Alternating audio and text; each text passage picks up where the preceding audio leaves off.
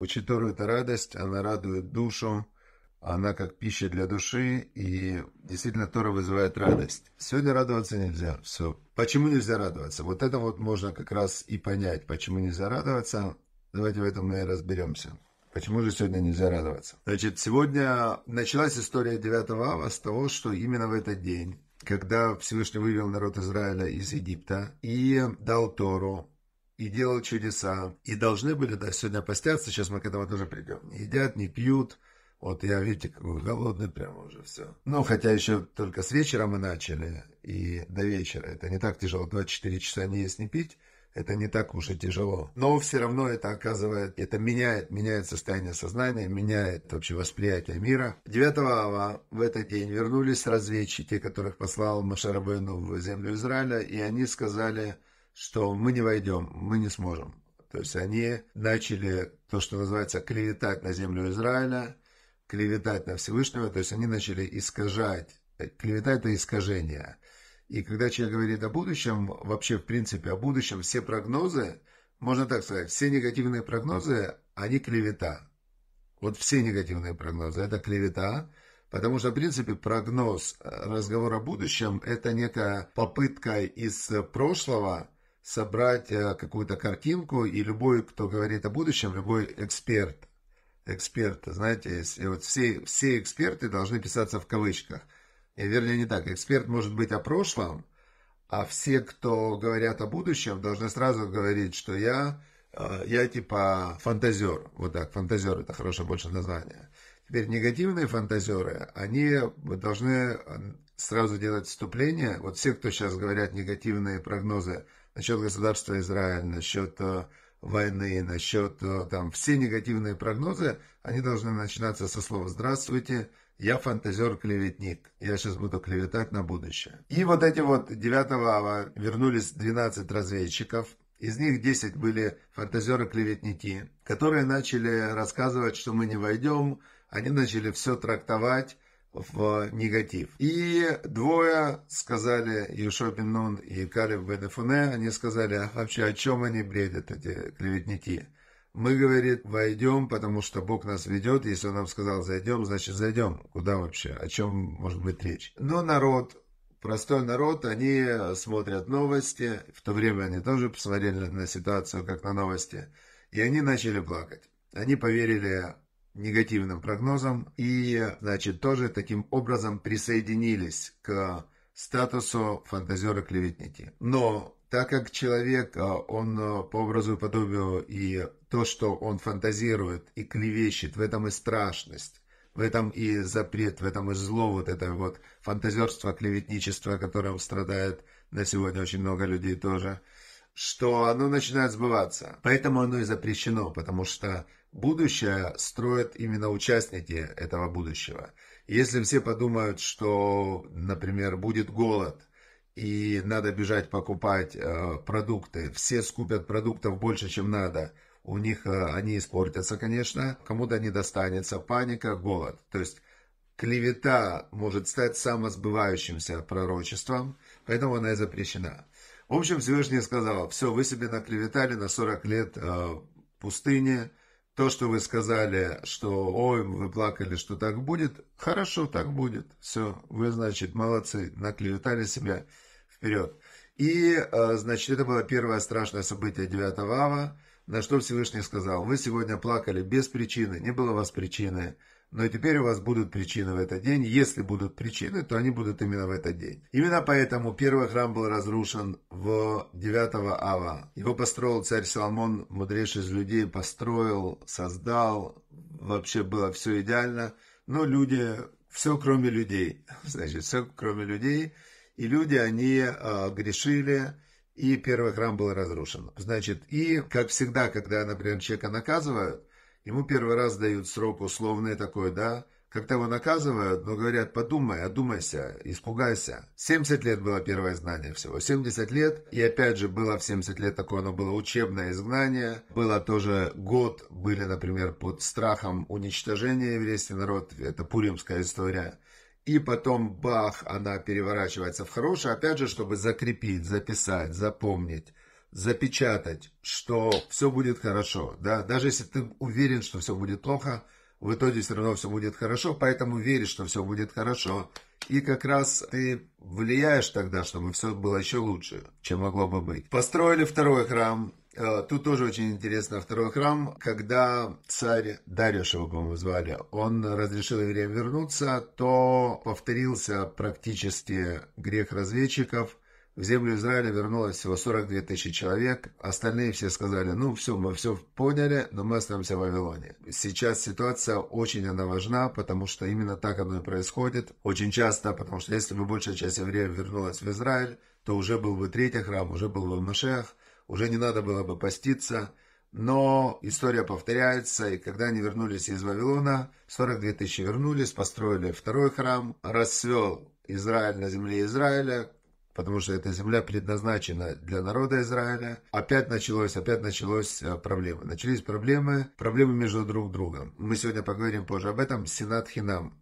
Причина разрушения второго храма была беспричинная ненависть друг к другу. Мы разберемся, что такое беспричинная ненависть и почему она разрушает и жизнь человека, и жизнь народа, и э, жизнь семьи, и храм. Все разрушает беспричинная ненависть. В 70-м году нашей эры руками римлян был второй храм разрушен, римляне забрали все, золото забрали в евреев тоже с собой и увели всех в Колизей строить, значит, Колизей. Увели в Рим строить Колизей.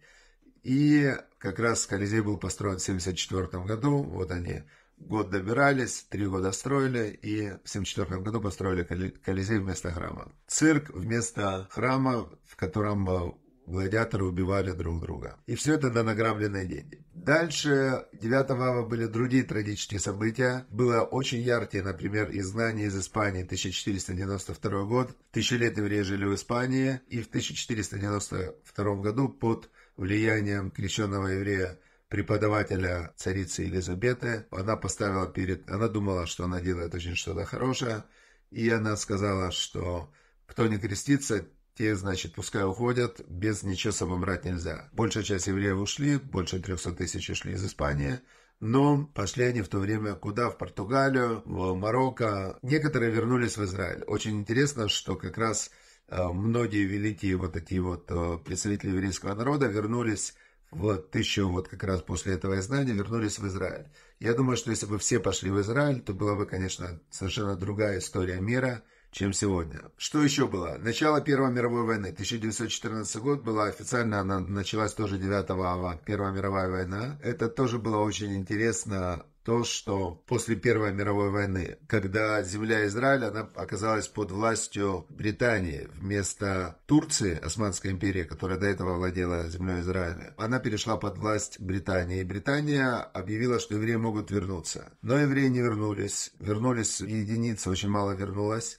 И потом была Вторая мировая война, потому что Всевышний, вот что он в еврейском народе не прощает с самого начала, это нежелание вернуться в Израиль, нежелание жить в Израиле. Это самое важное, вот это вот момент, который все евреи, которые сейчас слушают нас, должны помнить, что началась история еврейского народа, когда Бог сказал Аврааму, иди в Израиль, и привел его в Израиль. Исход из Египта, уже как а, формирование народа, дарование Тора, было для того, чтобы зайти в Израиль. И когда они отказались зайти в Израиль, Всевышний до этого он прощал все грехи, но это он не простил. Каждый раз, когда еврейский народ, он не заходит в Израиль, предпочитает оставаться где-то за границей, начинаются, начинаются проблемы. Поэтому Циля Розенблюм живут на всем мире, это понятно, но есть земля, которую Всевышний предназначил еврейскому народу, и об этом надо помнить. И если человек живет, например, еврей живет где-то за границей, то он должен всем сердцем стремиться подняться в Израиль, а если у него нет пока возможности, молиться Всевышнему, чтобы дал возможность и Всевышний даст такую возможность, потому что есть в этом огромный смысл. И вот, значит, все вот эти вот э, события происходили 9 ава, все страшные события происходили 9 ава, их очень много в еврейской истории. Давайте остановимся на причине разрушения второго храма в 70-м году нашей эры. Называется она в Талмуде, только сейчас можно учить это. Про разрушение храма причина была беспричинная ненависть друг к другу. И как раз так, как мы изучаем сейчас «Пути праведников» книгу и про качество, то как раз мы можем вот эту тему связать с тем, что мы изучаем. Значит, человека в сердце, в его мышлении, в его сердцем мудрецы называли полностью мышление. То есть это не сердце а эмоции, не только эмоции. Это подсознание, сознание, эмоции и даже привычки. Все это находится, они говорили одним как бы словом, сердце человека. Например, царь Соломон, он неоднократно в притчах, он говорил, Например, много замыслов в сердце человека. Замыслы – это же мысли. Работ махшевод лев иш. Много мыслей прямо в сердце человека дословно переводится. Или, например, он так говорил. Леадам марахот лев. Для человека тропинки его сердца у Миашем Мане Лашон. А от Бога слова. Получается, что тропинки сердца его вот эти вот внутренние там решения, размышления и так далее, это все принадлежит человеку. Но когда ты уже говоришь, это уже здесь а, ты выводишь наружу то, что у тебя было внутри. Все, что наружу, все взаимодействие, все мироздание – это Бог. Это управляется Всевышним, его законами, им. Но внутренний мир человека – это его. Теперь, когда и вот в этом внутреннем мире происходит соединение человека с божественной душой.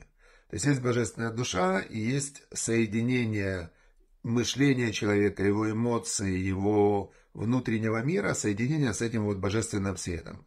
И вот на вот этом вот соединении, которое происходит в сердце, это и называется как святая святых, это как и есть суть человека, его сущность. Теперь, если мышление человека, оно выстроено, как оно выстроено? У каждого человека есть его желания, намерения, цели, мысли, правила.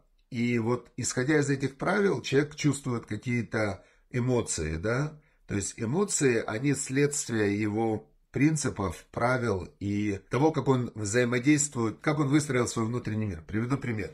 Для нормального человека лев или тигр вызывает э, эмоцию страха. Но для дрессировщика львов и тигров э, левый тигр не вызывает эмоцию страха, потому что он так выстроил свое мышление, что для него этот тигр большая кошка, и он знает, как эту кошку поставить на место, и для него исходя из его правил, принципов и опыта, для него этот тигр вызывает, может быть, э, эмоцию скуки. Он говорит, опять эти тигры, как мне моя работа достала уже. Фу, надоели мне эти львы, да?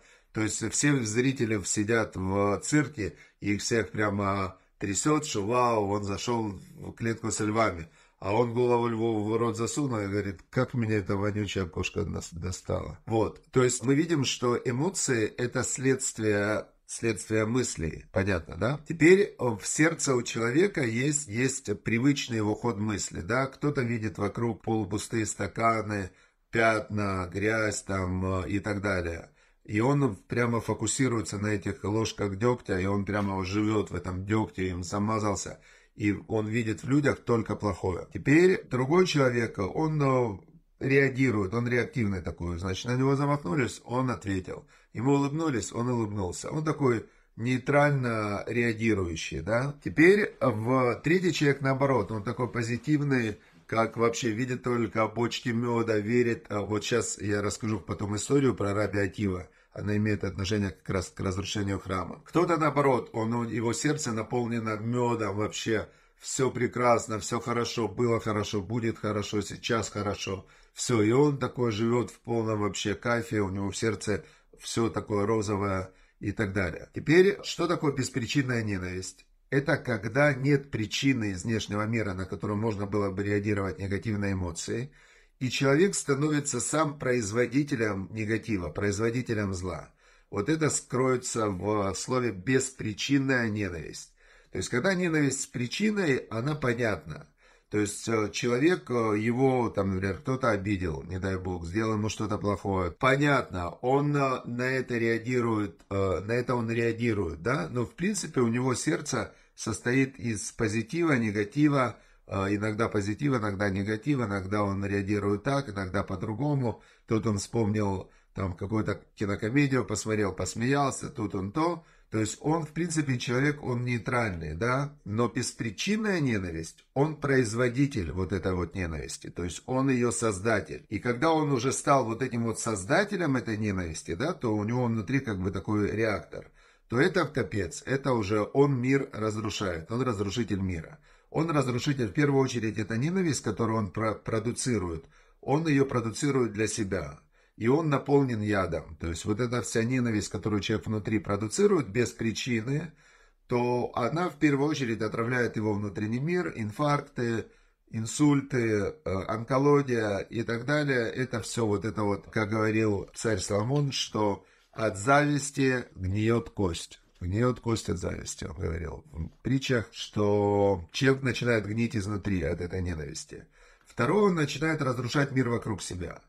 Так как сердце – это как внутренний храм человека, и народ Израиля – это единое целое, то есть на земле Израиля, народ Израиля – это как нервная система, да, то есть есть у человека все тело важно, все органы важны. Но есть нервная система, которая присоединена, там, например, есть э, рептильный мозг, есть мозг млекопитающих, есть неокортекс, есть разные системы у человека есть. Если какая-то вот из этих вот нервная система, да, что-то нарушено, то там э, это влияет, ноги могут, может, не дай бог, парализовать. Так вот, э, храм – это как сердце мира. Вот этот вот момент соединения духовного мира с материальным миром, он происходит на Храмовой горе – в Иерусалиме, где стоял Иерусалимский храм. Каким-то образом Всевышний так устроил структуру мироздания, что вот это место называется ворота в небо. Это место соединения духовного и материального мира. Как в человеке. Где найти это место, где, находится вот это «я», да, точка сборки? Где найти это место, которое управляет вот всей это телом, вниманием, направлением? То есть у человека, где это место? Так вот, э, наверное, оно где-то в голове, скорее всего. То есть, если руку отрезать, человек может дальше жить. Вторую отрезать, может жить. Ноги отрезать, может жить. А голову отрезать уже не может жить. Все. Или даже сознание отключить уже жить не может. И вот Иерусалимский храм, Израиль, Иерусалим, еврейский народ. Это как раз вот эта вот точка, такая как пуповина, от которой зависит духовное состояние мироздания. Как Бог, когда выводил еврейский народ из Египта, он сказал, что вы народ священников, Мамлехет Куаним, Вегой Кадош. Вы народ святой и царство священников должны быть святыми. Почему именно, зачем нужно было вот это вот тогда рабство? Оно было нужно для того, чтобы убрать эго. Знаете как, когда золото его очищают, его выжигают из него все. Народ, у которого не было своей воли 200 лет, он готовился как спецназ для того, чтобы принять волю Всевышнего – и сказать, что для меня ничего нет в этом мире, кроме воли Всевышнего. И недостаточно одного человека, а нужно, чтобы это было 600 тысяч. То есть Всевышнему всегда есть праведники, много праведников людей везде. В народах мира везде есть праведники. Один человек не может создать ту энергию, которая сделает там game-over в этом мире, да, что переведет его на следующий мир, на следующий этап. Нужно, чтобы было 600 тысяч человек, которые а, одновременно будут что-то думать, что-то делать, и они должны быть соединены в единое целое с помощью любви. То есть это должно быть соединение в одно целое, да, как когда получали Тору, то они были как Ишихат, Келевихат, они были как один человек, как одно сердце. То есть у них полностью не было никаких а, личных мыслей, замыслов, намерений, и они были полностью соединены в одно целое. Все, и получили Тору. Теперь нужно было также дойти и в Израиле э, что-то там сделать, какое-то действие, и мир переходит на следующий уровень, и все прекрасно. Но они тогда не зашли. Вначале была беспричинный страх, который тоже людей разъединяет, потом беспричинная ненависть и так далее. В общем, и отправились на исправление. Второй храм был разрушен в 70 году нашей эры, и началось исправление. Две тысячи лет изгнание длилось, для того, чтобы наполниться беспричинной любовью. Беспричинной любовью для того, чтобы исправить вот эти вот все качества, для того, чтобы наконец-то пройти исправление. Прошли, я надеюсь, что да. Опять же, кто-то вот, еще раз повторю, что все, кто говорят негативные вещи на Израиль, на народ Израиля, на будущее, на, на мир, все эти люди должны называть себя фантазеры, клеветники. Поэтому с этого начинается беспричинная ненависть, когда люди начинают свои страхи, свои какие-то негативные качества э, расплескивать на мир, да, говоря, что все будет плохо. Ты не знаешь, что все будет плохо. Будет плохо, не будет плохо. Что такое плохо? И мы опять переходим, последнее, что я сегодня хотел рассказать. Э, здесь есть в Ваикра, я сделал вот эти вот посты все про сегодняшний день. Я сделал в телеграм-канале, весь материал про день, что нужно делать, как поститься и так далее, зайдите в телеграм-канал Ваикра, Ваикра, прям просто написано. И зайдите в Фейсбуке, есть Вайкра, тоже я сделал те же самые посты. Я хочу сейчас рассказать историю напоследок про Раби Акива. Значит, был такой Раби Акива, великий мудрец, потомок принявших иудаизм. Это очень всегда Тора подчеркивает, что его родители приняли иудаизм, они не были евреями. Очень интересная судьба у него. Он до 40 лет вообще был пастух, простой пастух, ничего не знал, читать не умел. А, значит, очень интересная такая у него вся жизнь была. Он в итоге 80 лет, в 40 лет он начал учить Тору, в 80 лет он стал один из самых выдающихся мудрецов того времени, и он вошел в историю как один за всю историю один из самых выдающихся мудрецов Торы. И вот история такая, что после разрушения второго храма он уже жил, он и еще два мудреца, они пришли в Иерусалим, чтобы увидеть разрушенные святые места. Римляне раз, э, разрушили полностью храм, раз, э, храмовую гору раскопали. Осталась вот эта вот только стена храма, стена плача, да? И вот, значит, он, Раби Акива, с двумя мудрецами подошли и увидели развалины святая святых. Это было место, где ну, самое святое место, куда раз в году заходил первосвященник, если у него была хоть одна негативная мысль, он там же умирал. Представляете? За второй храм погибло более 300 первосвященников. И когда они заходили в святая святых, привязывали веревках к ноге, чтобы потом их вытащить. Если он был, вот чуть-чуть у него что-то было не так, это место, где как раз и соединялся духовный и материальный мир, там была какая-то сверхдуховная энергия, их просто разрывало. И вот э, это место, где была святая святых. Вот если вы видели картинки храма, такая вот эта высокая штука, там внутри была как атомный реактор такой духовный. И все разрушено, и оттуда выбегают леса. Мудрецы начали рыдать. Начали они рыдать, а Раби Акива, увидев ту же сцену, леса выбегают из развалин святая святых, он начал смеяться. А они его спрашивают, почему ты смеешься? Разве то, что ты видишь, не вызывает у тебя горя? А он им говорит, нет, говорит, это же написано в пророчестве, что там, где была святая святых, там будут бегать лисы. А в следующем пророчестве написано, что будет построен третий храм. Он говорит, так я радуюсь, что есть пророчество, которое говорит, что из-за грехов народа храм будет разрушен, и лисы будут бродить по его развалинам, прям написано. Но есть и другое, которое обещает, что после этого будет восстановление храма, возвращение народа Израиля, в землю Израиля. И он говорит, я сейчас вижу разрушение, и я смеюсь, я уже вижу возврат народа Израиля в землю Израиля, в Иерусалим. И мы сейчас видим это. Все пророчества сбылись. Израиль вернулся в Израиль после двух тысяч лет исправления и изгнания. Построен Иерусалим. Осталось только третий храм, появляется Машех, и все это может прийти только от беспричинной любви друг к другу. Поэтому каждый включает у себя беспричинную любовь друг к другу, но не сегодня. Сегодня нужно погоревать, погоревать, поплакать, что мы не увидели первый храм, второй храм, не пообщались с царем Соломоном лично, погоревать, что не зашли тогда 9 ава в землю Израиля, народ Израиля, погоревать чуть-чуть, что сейчас, что в 20-е годы не зашли, когда можно было уже возвращаться, что все евреи Европы не уехали в Израиль, когда можно было, вот сказала Англия тогда, welcome, приезжайте, заезжайте. Евреи сказали, нет, нам в Германии хорошо, нам хорошо в Америке, нам во Франции хорошо. Зачем нам куда-то ехать? Нам, нам там хорошо. Тогда, значит, англичане начали завозить сюда арабов. Они завозили десятки тысяч арабов в год. Здесь не было никаких палестинцев. Нет такого народа. Была пустая земля, в которой жили евреи, остатки, вот я фотографии дал, да, жили какие-то арабы, но не было никогда здесь никаких палестинцев. Палестина это просто слово, которое придумали римляне. Филистимляне были они, жили там, не сейчас Ливан.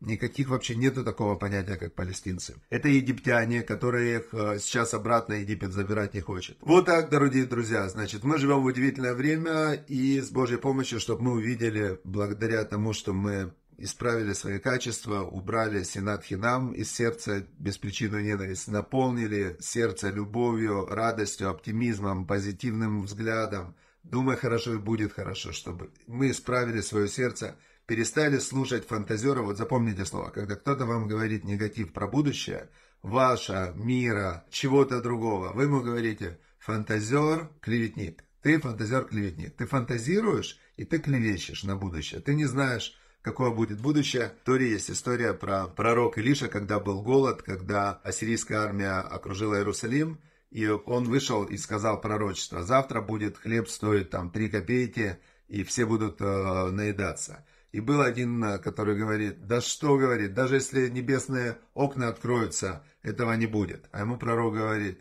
смотри, говорит, хлеб будет, но ты это не увидишь.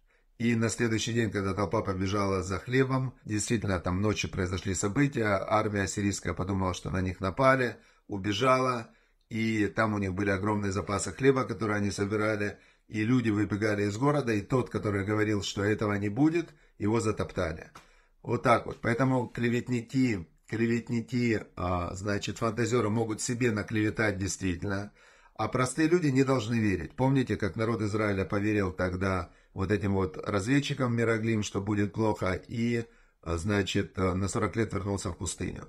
В данный момент, например, если посмотреть на ситуацию, посмотрите, сколько этих клеветников, фантазеров рассказывали, что Иран нападет, и завтра нападет, и сегодня нападет, и в 24 часа нападет. Уже две недели он нападает, и точно так же они, иранцы, трясутся от страха сейчас, да, что Израиль на них нападет. Потому что у них есть свои, значит, фантазеры-клеветники, а по факту, люди, не слушайте фантазеров-клеветников. Вообще воевать не надо. Нужно быть добрыми, нужно любить своих соседей, нужно быть